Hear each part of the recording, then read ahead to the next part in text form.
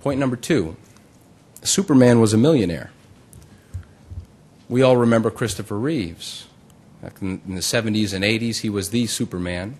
I still think he was the best Superman.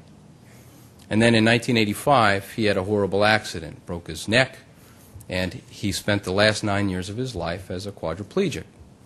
Now, if you happen to be representing him, and I don't know if there's any litigation as a result of that injury, but if you happen to be representing him in a matter and there was a significant windfall to him, you wouldn't be talking about special needs trusts and you wouldn't be talking about public benefits. But why?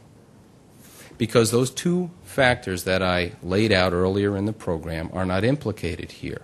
He was fully competent, and in fact, he was a vocal advocate for people with disabilities for the balance of his life. So there was no need for a fiduciary for fiduciary oversight. He didn't need a trustee or a guardian. He could still make decisions. He just needed physical assistance, assistance with his medical needs and personal care needs.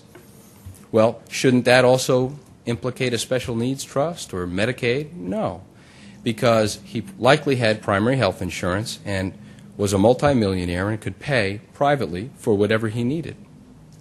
Now, I can tell you that I could get Christopher Reeve Medicaid. He would have to relinquish control and access to some of his property. He would have to reconcile himself to the fact that the Medicaid program would have a right of recovery against his estate at the time of his death, but I could get it for him today by use of a special needs trust and shifting some property between and among his family members, him and his wife. But Superman was a millionaire. He didn't need Medicaid. If you have clients who you believe will be able to sustain themselves, perhaps work and collect a Social Security disability check if they reach a point where they can work no longer, and they have Medicare benefits as primary health insurance attached to that, you don't have to worry about the impact that your settlement is going to have because those are not means tested programs. You get Social Security benefits because you or somebody on your behalf paid into the system. And then Medicare is attached to that.